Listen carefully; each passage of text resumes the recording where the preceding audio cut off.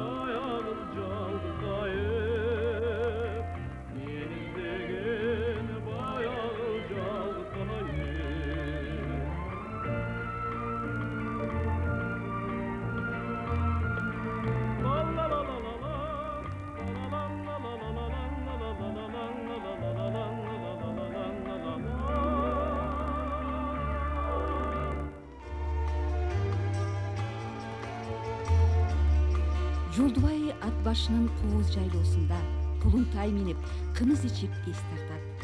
ал керемет тоолордун сулуулугуна арча кайынга жыпар гүлдөргө суктана билип зээндүү чоңойду атасы кайып карыя апасы салима мал багып өмүрлөрүнүн көбүн тоодо өткөргөн жолдубай тунуулуу болгондуктан ата энесинин жеңилин жерден оорун колдон алып көбүнчө алардын жанында. Болгон жолдубай төрөлгөндөн тартып сегизинчи класска чейин тарбиямда жүрдү. Сегизинчи класстан тартып колдон чыгып окуу жайына кетти. Бияктан өзү окуп жүрдү нарындан окуду бир жыбалдан окуду андан келип бул жерден окуп. Окуп атканда студия өзү жактырып өзүлөрү тандайт турбайбы кезде ким кандай иштейт ким кандай сүйлөйт деп. Бул баланын ушу үйдө жүргөн элеси үйдө жүргөн ары бери жүрүшү ушул көзгө элестеп эле турат өсү жок өсү көрүнбөйт анан эми тирилтип алчудай болуп ыйлап да жүрдүк тирилип келбейт экен кайра кайрат кылып балдардын өмүрүн тилеп ушу балдарыбыз аман болсун Girülüktün şanisi acayibi, Sansız tümün sırgatıp ilebine, Cark etip çıgar elin ekrandan, Davay kızdın çok salıp cürögüne.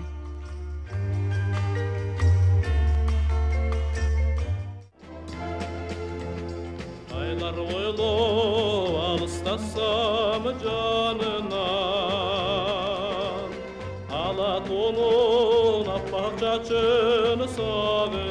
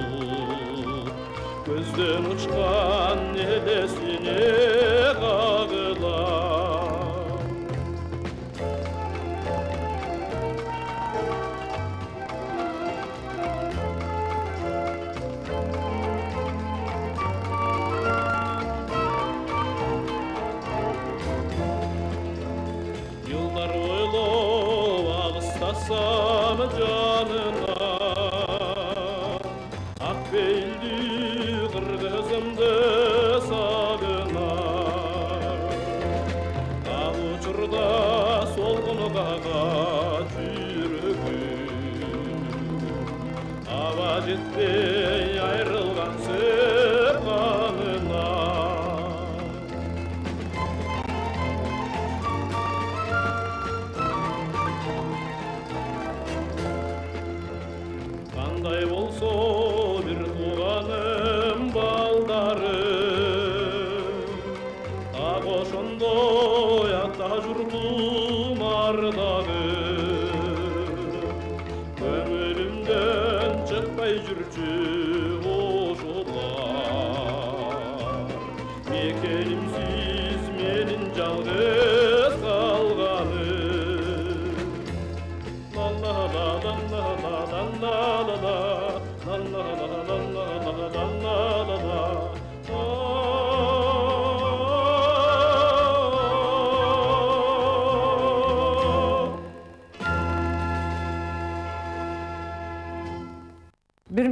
жүз жетимишинчи жылдын башында кыргыз телевидениясында бир музыкалык уктуруу көрсөтүү бар болчу. Ошол көрсөтүүгө жолдубай кайыповду э, мейман катары чакырып калышты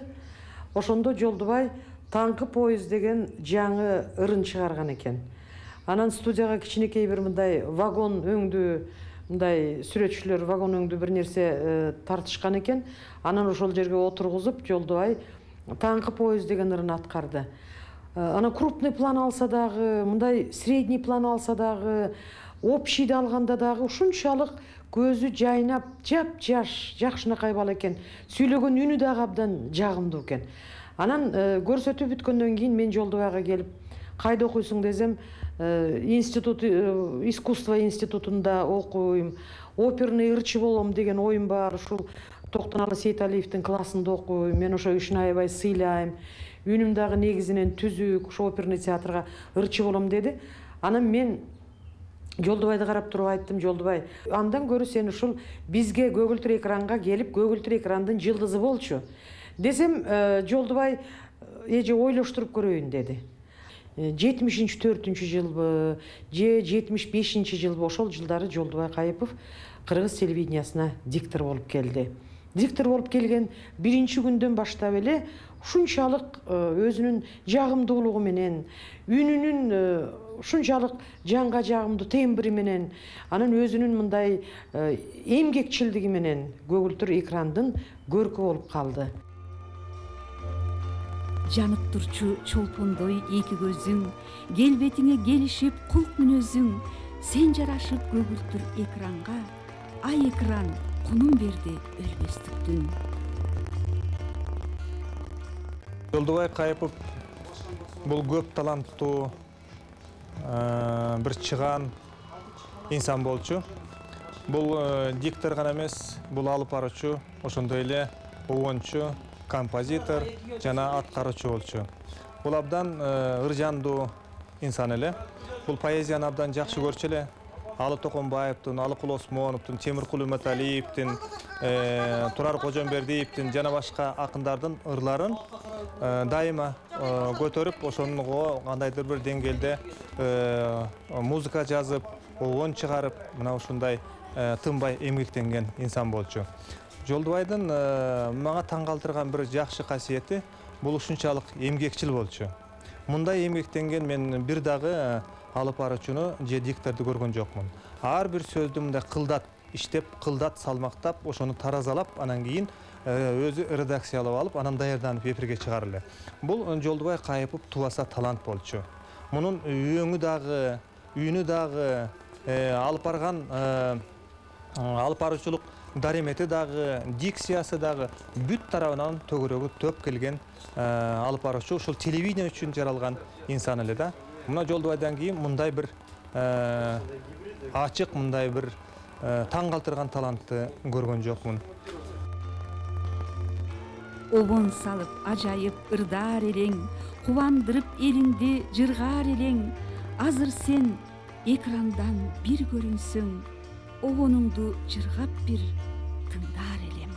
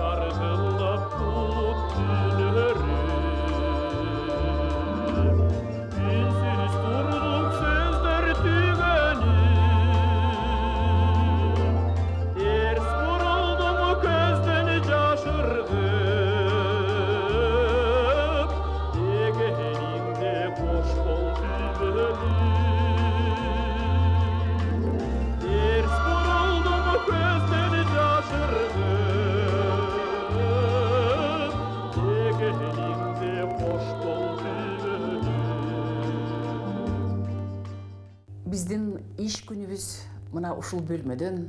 ушул күзгүдөн ушул гримдөөчү бөлмөдөн башталчу азыр күнү бүгүнкүдөй эсимде. Жолдубай байке ушул бөлмөгө жайдары кирип келип баардыгыбыз менен өтө бир өзүнүн бир татынакай мүнөзү менен жумшак жылуу мамилеси менен учурашып алып туруп анан кийин өзүнүн ишин баштачу эле бул жерде елизавета петровна лужанская деген таня старожилова деген гримерлор болор эле жолдубай иштейт дегенде алар дагы бир өзүнчө о жолдубай иштейт турбайбы дегендей болуп өздөрүнчө кубанып кудуңдап калышчу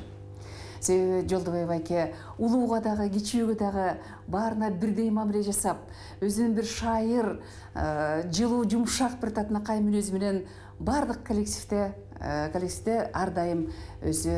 жогорку авторитетке ээ болгон. Бир абдан жогорку интеллектүү инсан эле өмүр бою эле телевидениеде иштеп жүргөндөй болуп ошо өзүнүн кесибин мыкты өздөштүргөн мыкты ошол кезде эле элге журтка ошо бир жыл бир жарым жылдын ичинде эле элге жакшы таанылып калган мыкты дикторлордун катарына кирип калган экен. Ошондон баштап эле ал мага бир жагынан баягы жашы анча мынча өйдөлүгүнө карабай өзүнүн мүнөзү шайыр кичпейил болгондон кийин бир жагынан тең туш катары сезилсе бир жагынан ошондой ушул кесипти жакшы мыкты билген жакшы дикторлордун катарында болгондуктан кандайдыр бир окутуучум катары дагы көрүнчү. Анткени баарыбыз тең ошол кезде ушу жаштар жолдубайга теңелүүгө ушу жолдубайды туурап жолдубайдан үйрөнүүгө аракет кылчубуз мен дагы ошолордун катарында элем. Жолдубайдын жүргөн турганы сүйлөгөнү көрсөтүүлөрдү уктурууларды алып баргандарын баарын ошол экине көңүл буруп көрүп ошондон үйрөнүүгө көп аракет кылчумун анан өзү дагы баягы адам катары дагы адам менен ар бир адамдын тилин таба билген ички дүйнөсүн ача билгенге ушундай устат чебер сөздү дагы сүйлөгөндү дагы баарын тең билген мыкты жакшы диктор жакшы адам эле.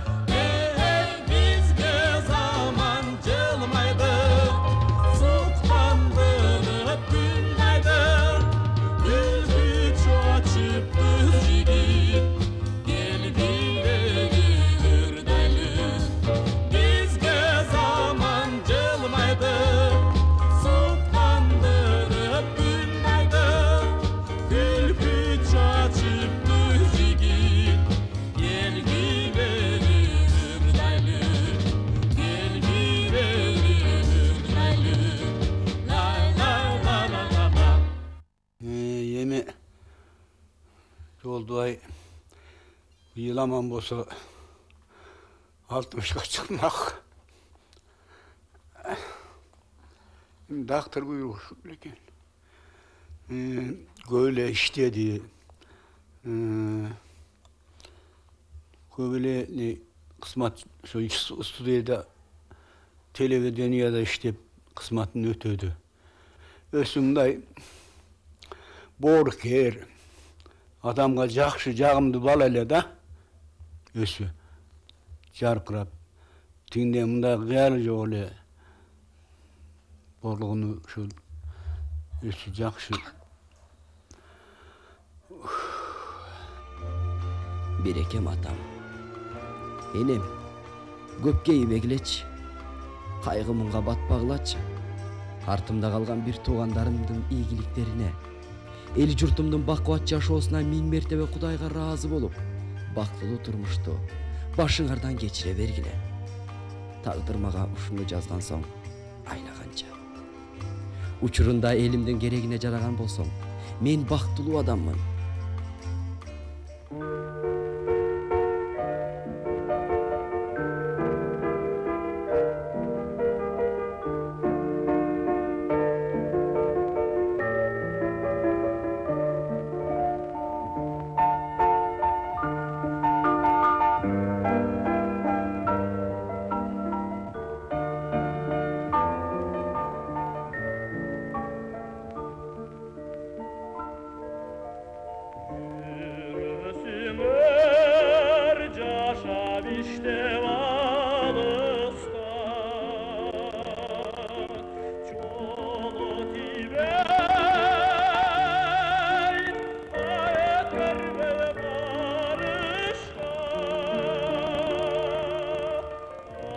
morgen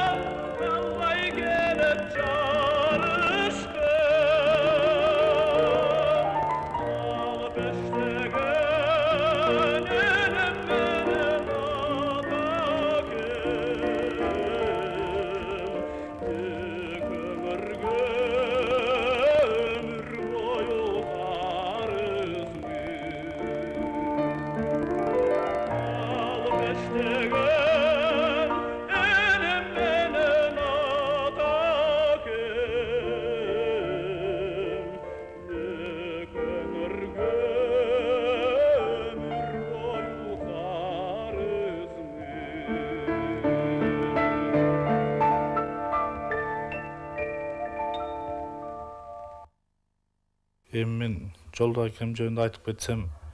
э, мен ошол учурда жаш кезим болчу. Э, баягы э, колдо бар алт- алтындын баркы жок деп бекер айтылбаптыр. Анан кийин биз деле баягы ошол кезде жолдо акемди баягы айтып көп элдер ушинтсе биз деле ойлочубуз эми баягы жөнөкөй эле кишидей баягы эмне үчүн эле ал кишини айтышат дегендейчи. Бирок ошол кезде жолдо акем ушу жашта болсо ушул эмгеги сыныйып ушу элге таанылып калган учур экен. Анан ушу мен онду бүтүп келген онду бүтүп бир жыл ушу бишкек шаарда болуп калгандан кийин каза болуп калды. Э, анан менин колумда дагы ушу бир жыл болсо да тарбияланып калдым. Анан ушул жолдо акем ушу көп айтып калар эле баягы могу жаштар менен жолукканда дагы ушу көп айтып калар эле ушул биз көрбөгөндө ошол биз неметкенде ушу силер неметке көргүлө ушу ээ болгула деп жанагы ушул э, көп жакшы нерселерди айтып калат эле да. Студенттер менен жолукканда деле мына бир эки үч жолу ошондо болдум. Ошондо жакшы сөздөрдү айтып ушул силер да монтип кыргызды көтөрүп могу жерде шаарды иштеп ушу көбөйөлү өсөлү э, ушу элди көтөрөлү таланттуулар көп чыксын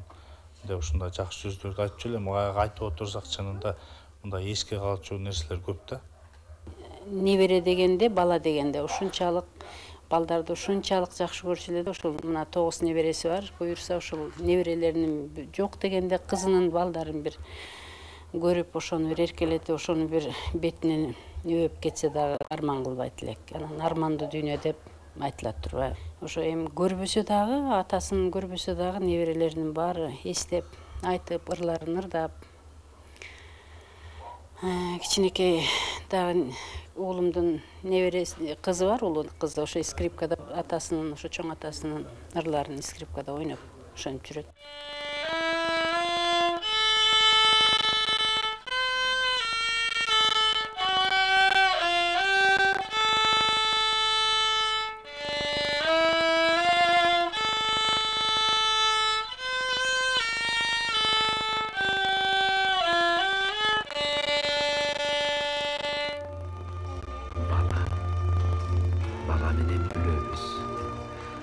күлсө бактылуубуз күлөбүз кубанабыз кучактайбыз сүйөбүз кубанычтан кучагында жүрөбүз сактагыла сактагыла баланы. Аман өссүн чалгын канат жетилип айга барчу болочоктун kadar